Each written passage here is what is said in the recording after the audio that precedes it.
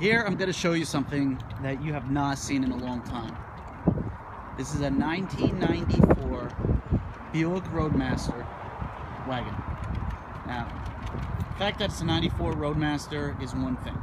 The fact that it has the wood grain as an excellent shape is another. It has only 42,000 original miles.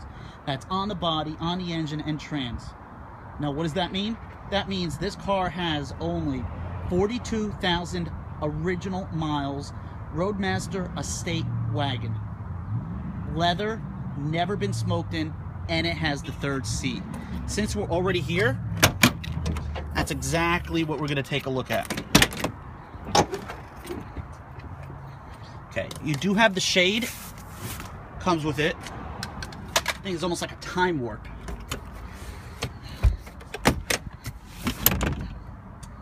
Take a look. You don't find leather or an interior this clean in some five-year-old cars, let alone a 94. That's where it belongs. We're gonna close this up.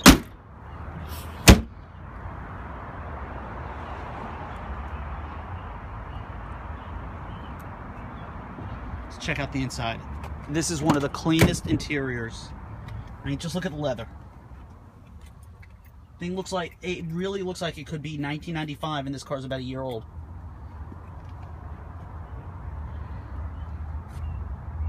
And it's everything. The carpeting, the leather, the wood grain, the buttons. And obviously, being a 94, you're gonna have a little bit of wear and tear, but this is it. This is exactly what you want to see when you hop into one of these cars.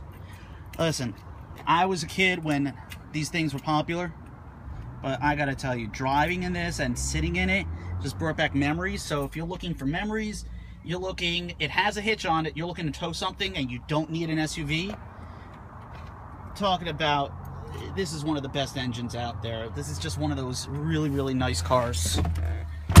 I wanna show you.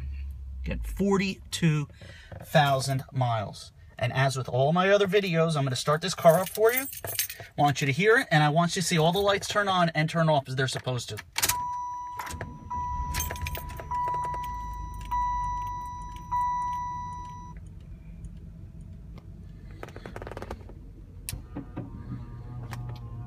Antenna. Everything works. Windows, power seat, everything works. And what we're gonna do right now, just want to pop the hood, show you what it looks like.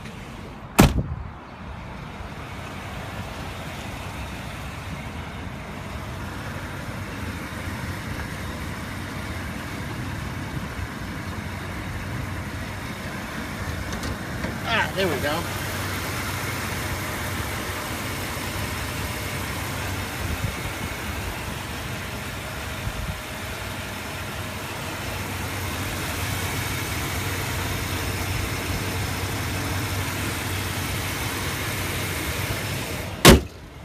I can take as many pictures and videos for you as I can, but nothing's gonna do this justice until you come down and just sit in it, take a look at it, drive it, and you'll see what I'm talking about. Now, before I end the video, I don't want to forget to thank you for taking out your time for watching the video as much as it was a pleasure to take this video for you and that this is just one of those amazing vehicles. Without you guys, there'd be no reason for me to take a video, so we do appreciate it. And as always, with any questions or anything like that, don't hesitate to ask. And if you comment below, I get back to everybody very quickly. Thank you.